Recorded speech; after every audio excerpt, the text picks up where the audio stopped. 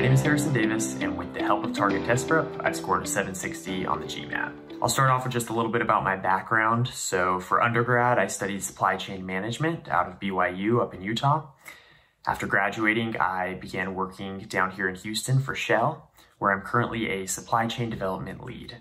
So I develop growth opportunities and projects to help support some of our downstream US assets. I'll continue working full time for Shell while kicking off my MBA on the weekends a few months from now out in Chicago. So, if it's useful for anyone, I'll dive a bit into my MBA GMAT journey. Um, you know, to be honest, when I started seriously thinking about business school, I knew next to nothing about the GMAT. I was targeting an M7 school, and I knew that I probably needed a good GMAT score if I wanted to get into a school of that caliber, but that's honestly about all I knew. So without giving it much thought, I went onto Amazon and searched for a GMAT prep book. Um, I saw that the you know official GMAT prep book had some pretty good reviews, so I ordered a used copy and um, figured that was a good place to start. When the book came, I wanted to get an idea of where I was at as kind of a baseline, so I started out by taking the first diagnostic test. I ended up doing well on the verbal reasoning, but quickly realized that I needed to put in quite a bit of time on the quant which honestly wasn't a surprise because the last time I took a math class was over five years ago, so was to be expected. Um, I kept working through that official GMAT prep book and, you know, I had a lot of good practice questions, but it didn't actually do much in terms of teaching the concepts.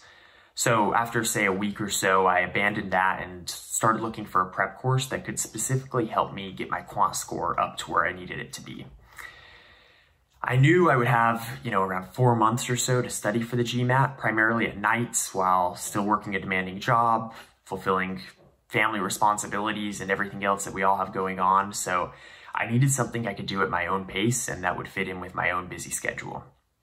You know, with that in mind, I tried out a free version of several of the different options for prep courses out there, but I didn't really love any of them. I felt like they each had their clear strengths, but were clearly lacking in other areas. I really wanted something that laid out a clear path of what I needed to do in order to get the score I was looking for on the GMAT. While I was trying out all of these different offerings, I kept reading comments on forums that were talking about how great Target Test Prep was. So I decided to use their free trial and give it a try.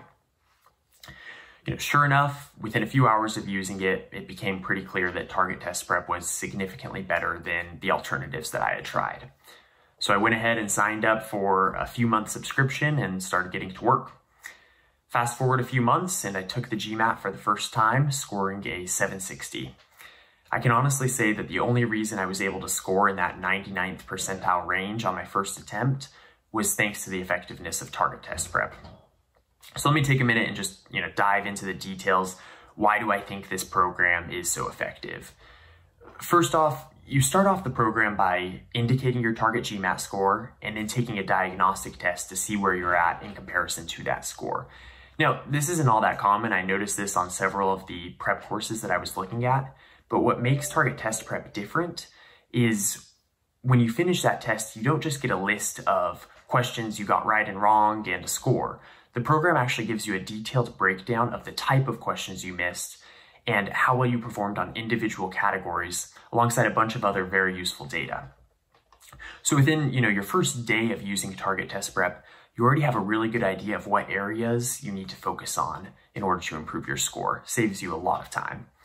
And then what's also great is Target Test Prep continues to track those same analytics as you progress through the program. So when it came time for me to review before actually taking the test, I knew exactly which areas I was solid on and which ones I needed to you know, spend a little extra time reviewing. Another thing I found really beneficial is how well structured target test prep is. Um, when I was getting going, like I said before, I really didn't know where to start in terms of studying. I really appreciated how target test prep laid out a very clear, logical study plan that I could follow. On any given day, I never had to ask or wonder what I should study that day in order to prepare. Target Test Prep had the plan for me. All I had to do was click on the next lesson. That was really great, saved me a lot of time, took out a lot of the, the guesswork, and really made my limited study time much more effective. Lastly, the instruction and explanation that Target Test Prep provides are phenomenal. They do a really great job of explaining concepts thoroughly, but without adding any excessive or unnecessary material. When I was going into this, I wasn't looking to become an expert and know every possible answer to any question that once in a blue moon might show up on the GMAT. I just wanted to get a good score that would get me into the schools I was looking at. You know, on, on kind of the flip side of things, I also wasn't looking for a program that just gave me a few tricks and gimmicks that may or may not actually work while taking the test. And Target Test Prep really delivered on this. They didn't give me the gimmicks, they didn't go into unnecessary detail. Their combination of text and video lessons really just explained what I needed to know in order to do really well on the test. So I'll get off the Target Test Prep fanboy section for a minute and just close off with a few pieces of advice for anyone currently studying the GMAT or thinking about taking the GMAT. Um, first, pick a plan and stick to it. I think it's kind of easy to drift from thing to thing when studying for a test like the GMAT. If you're on Einstein's level, I'm sure that could work for you, but for the rest of us, following a structured plan is really the only way to achieve one of these top scores. So, you know, it's obvious at this point I'm a big believer in target test prep, but really regardless of what prep course you choose, don't waste months getting caught up in the paralysis by analysis.